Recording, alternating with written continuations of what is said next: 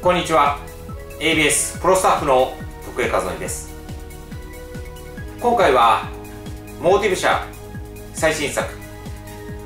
シグマスティングのレポートをお送りいたします。プライマルレイジが PBA ツアーを制し一気に脚光を浴びたモーティブブランドですが定評のプライマルスクリームで代表されるウィップラッシュカバーストック以降性能を押し上げることとなったフュージョンパールリアクティブはプライマルレイジをはじめトライバルクルーエルインテントそしてこのシグマスティングで各々コアの特性や表面仕上げの違いを持ち幅広いコンディションへとアプローチしてきています。今回のシグマスティングはシグマシリーズの代表的ともいえるシグマコアを心臓部にシグマシリーズ初となる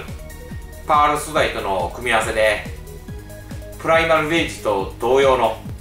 フュージョンパールリアクティブを採用しています。比較すると双方スキットからキャッチのイメージはほぼ同じなのですが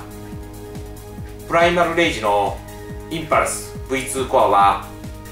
角が出るバックエンドモーションが持ち味。一方シグマスティングはその角がやや丸くなったような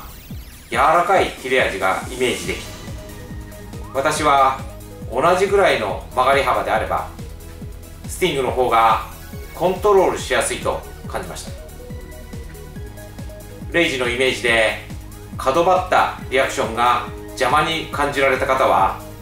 スティングは必ず気に入っていただけるでしょう。ここ最近 PBA ツアーでモーティブ社のボールを使用するボーラーが増えています。やはりそれはトゥルークルーエルから採用されているウィップラッシュリアクティブ。そしてフュージョンパールリアクティブが他社の性能と比べ見劣りしないことを表しています。